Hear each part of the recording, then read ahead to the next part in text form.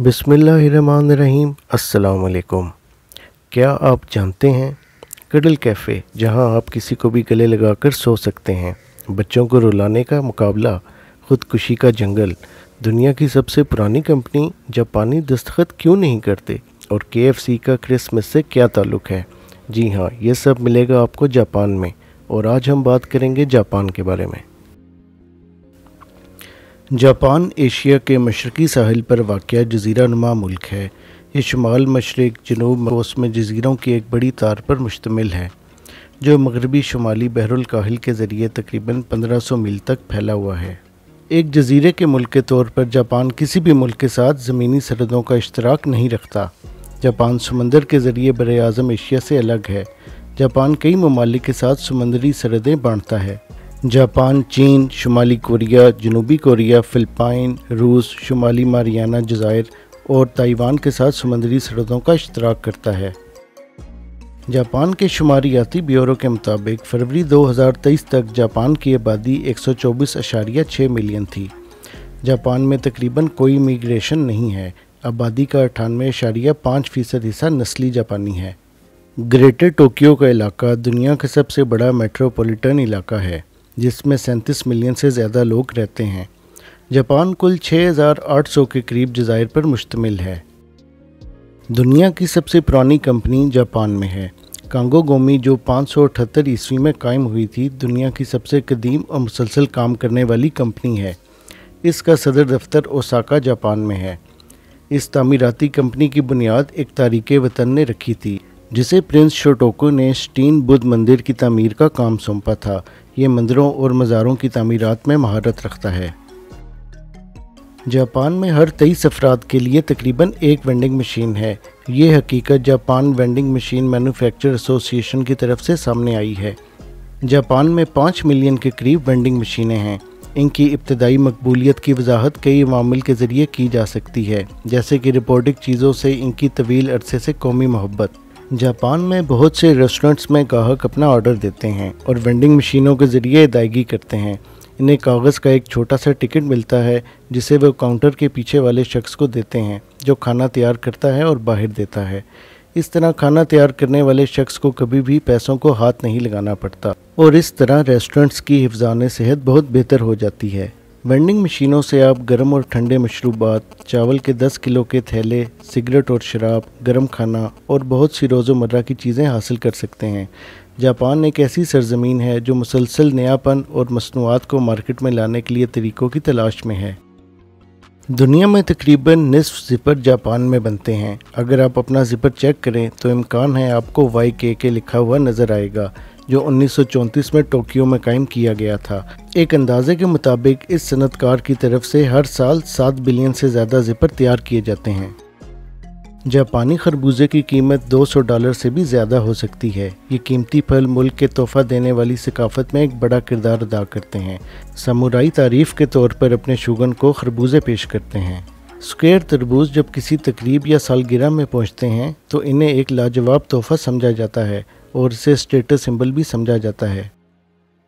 Japan के घरों, मंदिरों रेस्टोरेंट्स और स्कूलों में जूते उतारने का रिवाज है। जापान में ऐसा समझा जाता है कि इस रस्म पर अमल करने से आप किसी पुरस्कून जगह में दाखिल होते हैं और बैरूनी दुनिया की परेशानियों और तनाव को पीछे छोड़ देते हैं।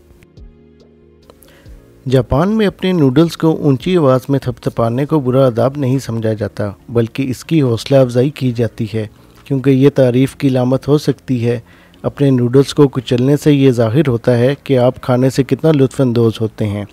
और इस बात पर गौर करते हुए कि कुछ नूडल्स कितने गर्म होते हैं, इससे इन्हें थोड़ा ठंडा किया जा सकता है। ये वाकई खाने में कुछ ऐसे जायके लाता है जो आपको आम तौर पर महसूस नहीं होते।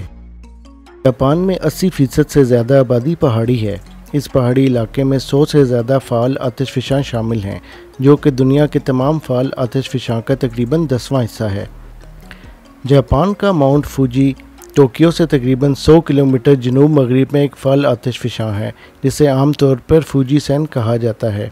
ये मुल्क की सबसे ऊँची चोटी है, जिसकी बुलंदी तीन हज़ार सात सौ छिहत्तर मीटर है। ये सदियों से एक ज्यारत गाह भी है। इसे जापान के तीन मुकदस पहाड़ों में से एक समझा जाता है। जापान में हर साल तकरीबन 1500 जल्जले आते हैं। जल्जलों की इतनी बड़ी तादाद मुल्क के तीन टेक्टोनेट प्लेटों पर वाक़ होने की वजह से है, जिसे पैसिफिक रिंग ऑफ़ फायर भी कहा जाता है। हर साल जापान में जल्जलों से बहुत ज़्यादा नुकसान होता है। रिंग ऑफ़ फायर बहरुल काहिल के बहुत से किनारों के इर्द गिर्द एक इलाका है, जहाँ बहुत से आतिश फिशाम फटते हैं और जल्जले आते हैं। रिंग ऑफ़ फायर एक घोड़े की नाली की शक्ल की पट्टी है, जो तकरीबन चालीस हज़ार किलोमीटर लंबी और तकरीबन 500 किलोमीटर चौड़ी है। जापान रिंग ऑफ़ फायर के मगरबी किनारे के साथ वाक़ है। दुनिया भर में क्रिसमस बड़ी धूमधाम से मनाया जाता है। जापान में क्रिसमस का रवायती खाना के है। जापानियों की अपनी मुनफरद रवायात हैं। ख़ास तौर पर जब बात हो क्रिसमस के खानों की तो एक ख़ास डिश छुट्टी के दिन का मुतरद बन गई है। 1970 से क्रिसमस के दिन बहुत से जापानी घरानों के लिए के फ्राइड चिकन एक रवायती खाना है।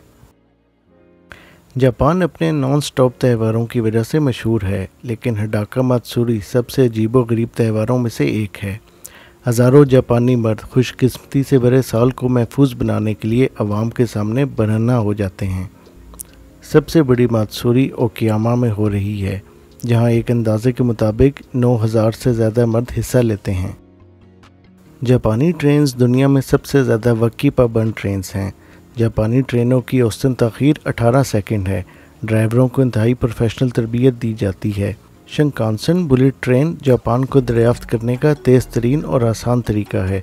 जापान रेल नेटवर्क वसी है और ट्रेनें 320 किलोमीटर फ़ी घंटा की तेज़ रफ्तारी तक पहुँचती हैं। जापान में लोगों के दस्तखत नहीं होते, इनकी अपनी मोहरें होती हैं। इसको हांकों का नाम दिया जाता है। आमतौर पर कांची रूप में आपके नाम का तर्जमा किया जाता है और इसे रेशम या पौधों पर मबनी पेस्ट से बनाया जाता है। बालगों के पास अक्सर तीन हांकोस होते हैं, एक खतूत और ज़ाती मामला पर दस्तखत के लिए एक बैंक की मोहर और एक शनाख्ती मोहर होती है। मरने के लिए बेहतरीन जगह कहलाने वाले ओकी गहारा जंगल को बदकिस्मती से यह एजाज़ हासिल है कि वो किसी की जान लेने के लिए दुनिया की दूसरी मकबूल तरीन जगह है। ये जंगल यूरी के घर के तौर पर तारीखी शहरत रखता है। कम अज़ कम 1960 की दहाई के बाद ओकी गहारा ख़ुदकुशी के साथ मुंसलिक हो गया। आखिरकार अंग्रेज़ी में सुसाइड फ्रस्ट के नाम से जाना जाने लगा और दुनिया में सबसे ज़्यादा इस्तेमाल होने वाली ख़ुदकुशी की जगहों में से एक के तौर पर मशहूर है।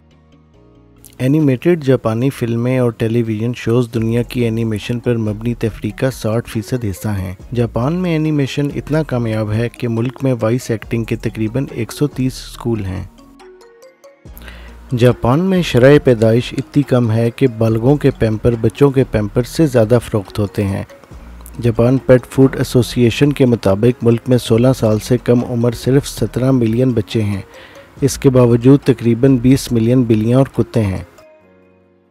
सोमो जापान का कौमी खेल है। सोमो में दो पहलवान जो एक लंगोट के अलावा कुछ नहीं पहने होते, एक सर्कुलर रिंग में एक दूसरे का सामना करते हैं और अपने मुखालिफ को धकेलने, पकड़ने, फेंकने की कोशिश करते हैं। जो अपने मुखालिफ को ज़मीन पर गिराने में कामयाब हो जाता है या इसे रिंग से बाहर धकेल देता है, वो फाते होता है। जापान में हर साल सोमो के छः टूर्नामेंट मुनद होते हैं, जिनमें से तीन टोक्यो में जनवरी, मई और सितंबर में मुनद होते हैं। हर टूर्नामेंट तकरीबन पंद्रह दिन तक चलता है, जिसमें मेहमानों को टिकट हासिल करने का माकूल मौका दिया जाता है। जापान में सोमो क्राइंग बेबी फेस्टिवल का इनका भी किया जाता है, जहाँ सोमो रेसलर्स ये देखने के लिए मुकाबला करते हैं कि कौन बच्चे को पहले रुला सकता है। कैप्सूल होटल दुनिया के दीगर होटलों के बरक्स हैं। इनकी इब्तदा जापान के कांसाई इलाके के शहर ओसाका और होंशो जजीरे पर हुई। 1979 में पहली बार इसका डेबू किया गया। कैप्सूल होटल इस वक्त जापानी अमलीत और कारकर्दगी की बुलंदी समझे जाते थे। कैप्सूल होटल अपने मेहमानों को बाकायदा या कारोबारी होटलों से कम पैसों में निजी बिस्तरबंद और बुनियादी सहूलतें फराम करते हैं। वो आमतौर पर तीन से चार हज़ार यन फ़ी रात के दरमियान चार्ज करते हैं। हाल ही में टोक्यो, क्योटो और ओसाका के आसपास कुछ प्रीमियम और थीम वाले कैप्सूल होटल कदरे ज़्यादा कीमतों के साथ खुल रहे हैं। कुछ कैप्सूल होटलों में मर्द और ख़वान मेहमानों के लिए अलग अलग सेक्शंस यहाँ तक कि अलहदा फ़र्श और लिफ्ट्स भी मौजूद हैं। दाखिले पर जुकाटा और चप्पल के बदले कपड़े और जूते हैं। और एक तोलिया और गसल खाना भी फराहम किया जाता है। सामान आमतौर पर लॉकर्स में या अगर दस्तयाब हो तो कमरे में महफूज किया जाता है। जापान का कडल कैफ़े, जिसे सोनिया भी कहा जाता है, एक ऐसी जगह है जहाँ मर्द खवतिन से कडल के लिए पैसे दे सकते हैं।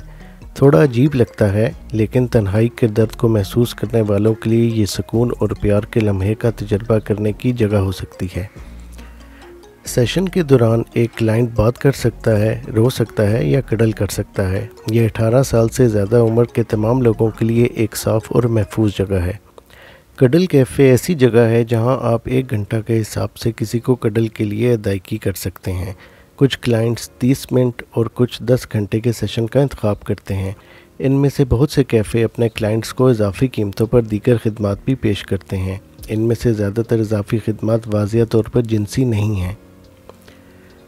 अगरचे बहुत से लोगों ने इन कटल कैफ़े पर कोठों के मोर्चे होने का इल्ज़ाम लगाया है, जबकि जापान में जिसम फरोशी गैर कानूनी है। उम्मीद है आपको हमारी आज की वीडियो पसंद आई होगी। वीडियो को लाइक और चैनल को सब्सक्राइब ज़रूर करें। शुक्रिया।